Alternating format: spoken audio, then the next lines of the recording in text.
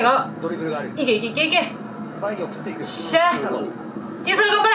北川走れこのボールはタッチを割って長崎ボール。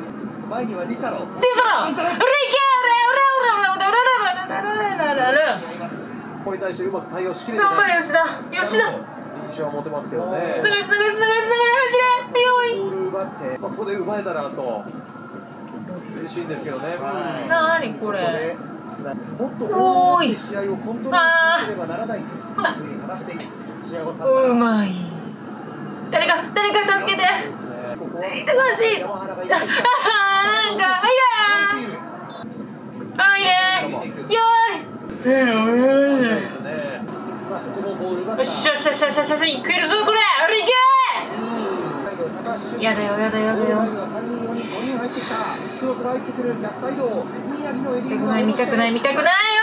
シュートが決まった岩崎のシュートまあ、サイドの宮城選手がよく折り返ししましたし、まあ、よく詰めてましたよね、ボランチの熊崎選手がここにいたことで、詰めたそしてここで速い攻撃。えー、やめてやめて。逆サイドに宮城ね。さあシュート打っていった。キーパー権田防いだやはりこの人権田です。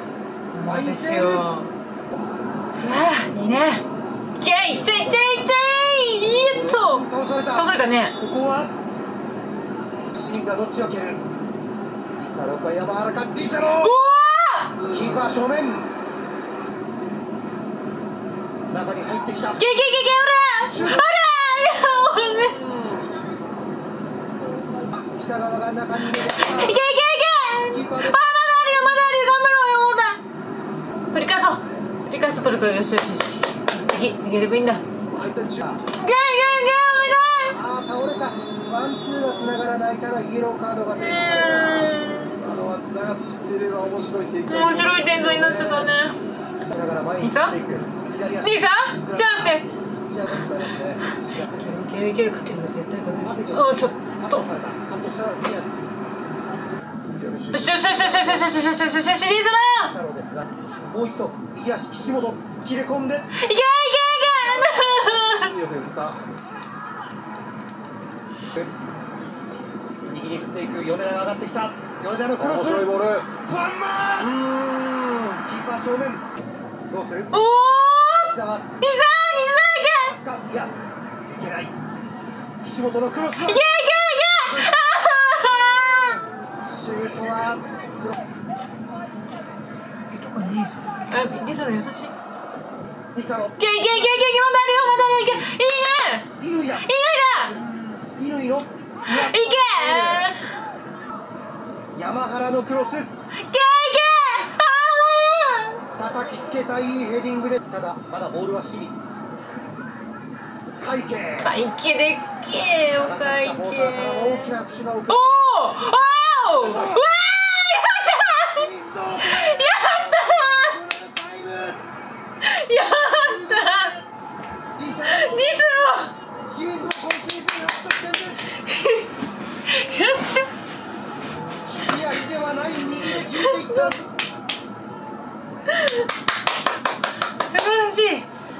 最高。まあ、これはもう、やば選手も狙ったクリアではなかったと思うんですけども、やっぱティサロだやっますしまあ、ディフェンスも本当に打ってくるとは思わないですよね。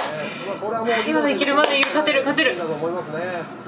まだチャンスありますね。あるよチャンス。自分を。いけるいけるいける。6分にまだチャンス。頑張ろう頑張ろうみんなね。乾いいあとワンチャンスありそうな気がします。そうだねワンチャンス。いけるね。ああいけるよいけるよ。防いでこいつ。どうする？うーんところがないほなほな。ここで長い笛。試合終了。ビターレ長崎と清水エスパルスの一戦はドロー。痛み分けとなりました。えー皆さん、まあ、今回も応援お疲れ様でした。まあ今節も勝てなかった。1対1でドローで、えー終えたわけなんですけどうん。なんか開幕前はまあねあの他の人の意見に惑わされてるわけじゃないんですけどまあまあいける。もうちょっといけるかなと思ってたんですけど、まあ、なかなかなかなかちょっと勝てなくてあの今回も悔しい気持ちで終わってしまったんですけど、うん、まあただあのいついつもはというかあの結構アディショナルタイムに、まあ、得点を取られたことが多かったエスパルスでしたけど、まあ、今回はディサロ選手の得点で、えー、と同点に追いつくことが、まあ、できたことはあのすごく喜ばしいことだと思います。うんまあ、あとディサロ選手はあの今回の試合もそうでしたけどあの試合を通してなんかもうずっと攻める姿勢が劣らないっていうか最後までなんだろうもう気持ちでは負けていないって毎回思ったので、まあ、そのディサロ選手がファーストゴールを決めてくれてすごくあの嬉しいです。次節以降もあのきっとディサロ選手が決めてくれると信じていますのでよろしくお願いします。まあ、今回長崎が相手だったわけですけど、まあ、長崎も、まあ、しっかりした守備でカウンターも鋭いですし、まあ、なかなかやっぱり簡単に勝たせてくれないんだなどこもっていうのをあのすごく感じましたね。うん、またあの次節以降からルヴァンカップも入ってきて、まあ、試合数も増えて大変になっていくと思うので、まあ、私たちファンサポーターも選手に負けずに応援で盛り上げて、まあ、楽しく応援していきましょう。次節からは連勝でお願いします。チャンネル登録お願いします。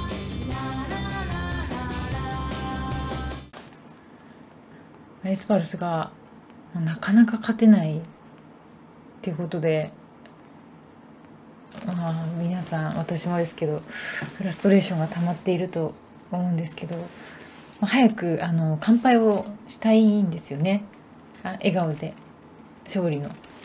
まあちょっとできてないのでちょっと普通に普通に飲みます。好きな好きなビール。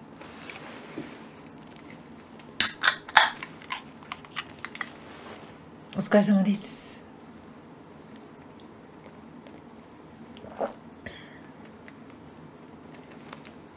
やっぱこれ これ飲みやすいんですよねなんか。なんか職場の人とかに自慢したいんですよね。エスパルスが強いってこと、まあ、エスパルスサポ周りにいないんで J2 に下が落ちたよねっていうことしかみんな知らないんだけど負けてないっていうのを負けてないっていうか勝ち進んでるっていうのをちょっと自慢したいですよね周りの人に。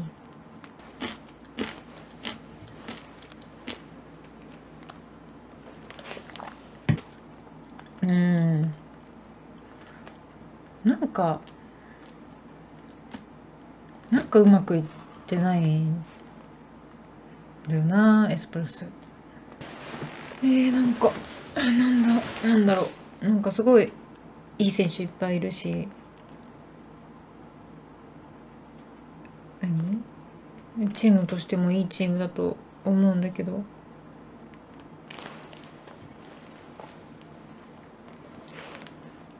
まあなんかサッカーやったことないから分かんないけど。